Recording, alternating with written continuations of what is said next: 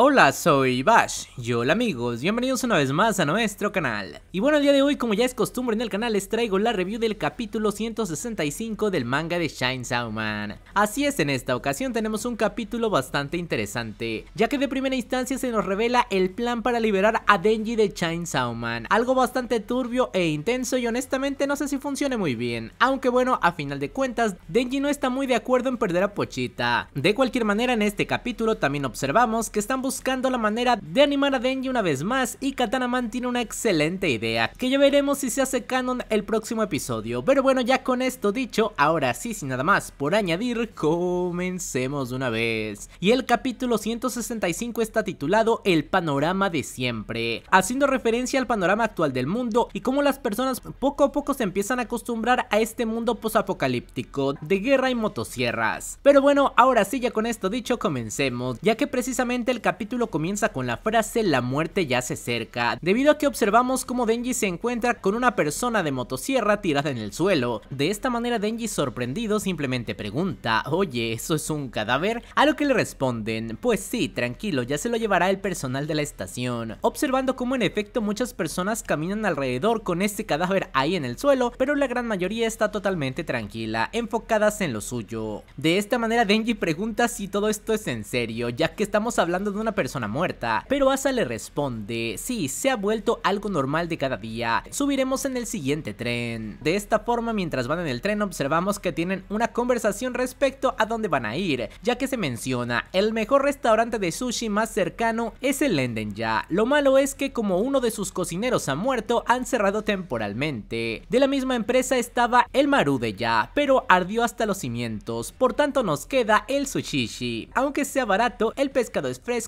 y tiene buenas críticas, observando que es Kiga quien revela todo esto, ya que como recordaremos su principal objetivo para salvar a la humanidad es la comida, y lamentablemente parece que el precio ya se está pagando, debido a que como ella lo menciona, dos restaurantes ya han cerrado debido a esta masacre. De cualquier manera, Kobeno también menciona que ella ya ha ido al sushishi, y solamente pidió un té, pero estaba buenísimo. Mientras se observa esta conversación, también se nos muestra en el fondo a dos personas, los cuales parecen bastante heridos y durmiendo, obviamente cansados por toda la vida que deben llevar en este punto, además de que precisamente en el exterior se muestra el deterioro de los edificios debido a la destrucción y el caos que hay en la ciudad actualmente. De esta forma, mientras el tren avanza, observamos que Denji habla con Asa, preguntando, Asa, una cosa, ¿por qué quieres enfrentarte a mí? A lo que ella le responde, porque podré salvarte si te gano. De esta manera Denji no comprende esta respuesta, diciendo, ¿sigues con la idea religiosa esa rara? A lo que Asa algo sonrojada le responde que no, para decirle rápidamente a Kiga que le explique cuál es la situación, a lo que Kiga procede a explicarnos diciendo, lo que te permite convertirte en Chainsaw Man es el poder de tu corazón, el poder de tu contrato, y la cláusula de dicho contrato indica que debes llevar una vida normal, si la rompes aparecerá el auténtico Chainsaw Man, el dueño original de tu corazón. Para recuperar tu vida normal hay que derrotar al verdadero Chainsaw Man y trasplantarte el corazón de otra persona. De esta forma Denji queda muy sorprendido ante la respuesta, preguntándole a Kiga cómo es que ella sabe todo al respecto. Pero Kiga simplemente no responde, a lo que vemos que Denji rápidamente le grita a Asa, ¿cómo se te ocurre confiar en una tipa tan sospechosa? A lo que Asa dice, es que se ha esforzado mucho por ayudarte, reconozco que no tiene un pasado del todo limpio, pero siente un fuerte deseo de ayudar a los demás, igual que yo. De esta manera vemos como Asa le dice a Kiga que si esto es verdad, pero Kiga simplemente no responde. Ante esta situación, Denji obviamente no tiene confianza en el plan, mientras menciona, vamos a ver, ¿qué defines tú como una vida normal? A lo que Asa le dice, pues volver a tu vida de antes, ir cada día a clase, tener un hogar al que regresar. Tranquilo, encontraremos a Nayuta, puede que la esté cuidando la policía o quien quiera que la encontrara, y como su piso se quemó, tal vez no sepan dónde contactar. Recuperarás tu vida tal cual como era, estoy segura. De esta forma, ante la respuesta de Asa, observamos que Denji menciona, dime, ¿alguna vez has comido papel higiénico. De pequeño lo devoraba cuando me moría de hambre y no tenía nada que llevarme a la boca. Iba a los baños públicos del parque. Pero ahora que no tengo que preocuparme por la comida, ya no soy capaz de comerlo. ¿Entiendes lo que quiero decir? Pero Asa ante esta anécdota menciona que si no es más claro, no va a entender nada al respecto. Y bueno, quiero hacer una pausa aquí porque vaya desgarradora historia de la infancia de Denji. El hecho de ir a los baños públicos a comer papel higiénico para tener algo en el estómago es simplemente terrible. Hay que reconocer que Denji sí es uno de los personajes que más ha sufrido en la historia de los mangas. Pero bueno, regresando con Denji, este menciona que él jamás volverá a ser el de antes. Es decir, a pesar de que quieran forzarlo a recuperar y tener una vida normal, esto es prácticamente imposible, observando el piso y mostrándonos que en efecto el mundo está colapsando, por lo que sí o sí se requeriría de Chainsaw Man. Pero bueno, ante esta situación, Asa también mira al suelo y menciona, claro que sí, tú déjamelo a mí, puedes estar tranquilo. Algo que debo reconocer es que está claro que Asa tiene buenas intenciones, a pesar de que probablemente vayan a traicionar a Denji y usarlo de alguna manera, creo que Asa no tiene esa idea en su interior. Ya que poniéndose un poco más firme, observamos como Asa menciona, te ayudaré como sea. De esta manera, mientras la conversación continuaba, observamos ahora a Katanaman, el cual también comienza a hablar al respecto, mientras dice, hay que ver lo afeminados que se han vuelto los niños de hoy en día. Acabar con este patético Chainsaw Man no hará que mi abuelo pueda descansar en paz. Ante estas palabras, observamos que Asa muy molesta le responde, Denji tiene hambre y ha perdido a su familia, apártate y deja de fumar en el vagón. De esta manera vemos que finalmente Katanaman hace caso tirando su cigarro y menciona, existe un lugar donde cualquier hombre puede recuperar las ganas de vivir rápidamente, pararemos ahí antes del sushi, estoy hablando de las cariñosas, todo macho que se respeta se anima cuando va a un lugar de esos. De esta manera ahora sí terminamos con el capítulo con la frase satisfacer la lujuria para recuperar las ganas de vivir. Así es Fujimoto parece ser que finalmente quiere darle algo de felicidad a Denji, pero ya veremos si esta situación se culmina. Ya que bueno hay varios temas importantes a tomar en cuenta en este episodio. En primera instancia tal como se nos relata la situación actual del mundo de Chainsaw Man, es decir la gente ya se está acostumbrando a vivir en caos, con muertos por todos lados, parece ser que los motosierras siguen surgiendo en cualquier momento y son acabados rápidamente, además de que sí la ciudad también se encuentra en ruinas y las personas apenas si pueden sostenerse. Obviamente este mundo actualmente es completamente terrible. De cualquier forma lo que más llama la atención de este capítulo es que finalmente se nos aclara cuáles son las intenciones de Asa Mitaka y Yoru supuestamente para querer enfrentar a Chainsaw Man, más específicamente a Pochita, ya que tal cual como se nos explica una vez que el contrato de Denji y Pochita se rompe, pues Pochita surge una vez más para acomodar las cosas y es ahí donde al parecer ellos tienen intenciones de derrotar a Pochita. La pregunta principal ahí es cómo demonios calculan que van a derrotarlo, es decir, incluso si logran liberar a Pochita y enfrentarla con Yoru y Kataraman, no tienen ni la más mínima oportunidad de derrotarlo. Tal vez la única que realmente podría hacer algo sería Kiga, ya que sabemos que puede almacenar demonios e incluso primordiales como lo fue el demonio de la caída, por lo que ella creo que sí tal vez tenga alguna oportunidad de hacerlo, tal vez tenga algún demonio guardado que realmente pueda enfrentar y derrotar a Pochita, aunque suene difícil de pensar. De cualquier manera, como se menciona, al parecer el plan es el siguiente, derrotar a Pochita, arrancarle el corazón a Denji y trasplantarle otro. Honestamente no sé qué tan funcional sea esto, pero por lo que vimos tampoco es que Denji se encuentre tan de acuerdo con la situación, ya que él directamente tampoco está dispuesto a regresar a una vida normal, debido a que hay que recordar que también en su momento Denji ya se estaba aburriendo de tener una vida completamente normal, es decir, él también quería seguir siendo Chainsaw Man, así que este plan no sé qué tan funcional vaya a ser, pero bueno, ya veremos qué es lo que sucede.